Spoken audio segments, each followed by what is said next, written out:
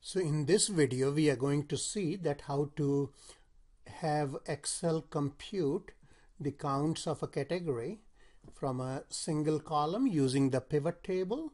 So here we have a variable or we have data about this and these are the different categorical values that it can take. Okay, so we want to find the count of all these categories and there are 1200 uh, entries in the data. So here we go to insert we go to pivot table okay? So here it has from a1 to a11 uh, we will go ahead and type in 1201 okay? So that uh, you know we have all the two 1200 values covered. We can designate a place in the existing worksheet or just go to new worksheet whichever way you, we would like. So I went to a new worksheet.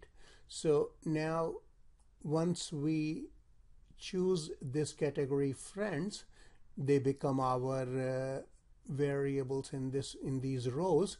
And in the columns we have we will just drop this here for the values. So they will become our column values. Uh, let me enlarge the size here. Oh sorry about that. Okay so that you can uh, see. All right so here are the values here are the totals. Okay now say you wanted to have uh, percents instead of the actual counts.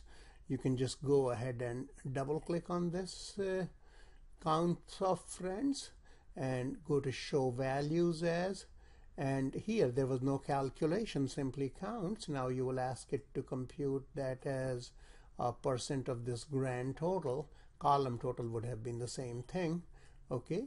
And here it gives it to you as percentages okay